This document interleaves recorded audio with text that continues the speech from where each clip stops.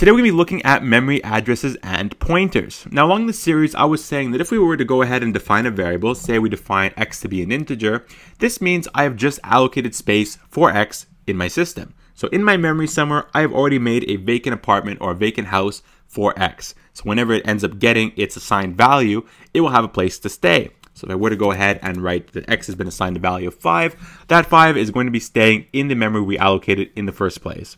So how can we find the memory address of x? How can we find where exactly on our memory we have allocated space for x? And we do this with the memory address operator, and it's represented by one ampersand. Remember, two ampersands or two and symbols was for the and logical operator, which we use in if statements when we want to add multiple conditions. Now, if we only put one ampersand, that is for the address, the memory address, or the memory address operator.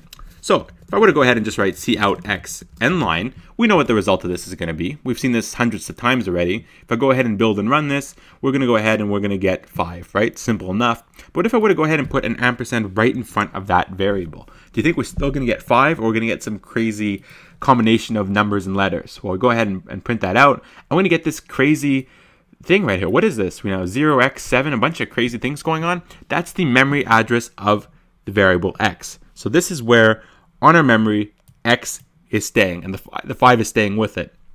So that's great. Now, this might not mean anything to you right now, and it shouldn't, right? It's a bit confusing, and we're going to develop this and we're going to look into this in more detail in the coming videos. But I want to show you guys the memory address operator, which is 1 ampersand before the variable. Now, one more thing, I want to show you guys about pointers. And these are going to be variables that will point towards a memory address. Now we're going to start off by still calling them an integer, but we're going to actually go ahead and we're going to put a asterisk right before what we're going to define, right? So if we're going to call this the variable lemming, we're going to put an asterisk right before it. And this is going to mean that it's a pointer. I'm going to end that off with a semicolon as well.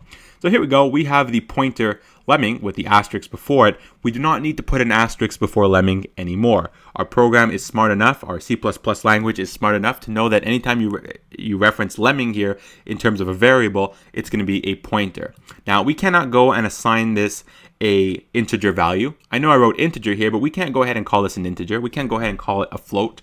We can only assign it a memory address. So how do we get a memory address to assign it to? Simple enough. We already saw the memory address operator. So we can go down here and we write lemming. Remember, we do not need to put an asterisk again.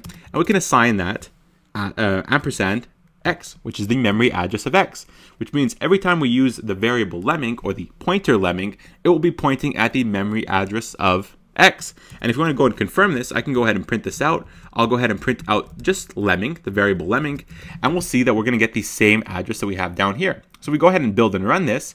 We're going to have build succeeded, and we're going to have the same memory address written twice. That's going to be where the variable x is being stored on your memory.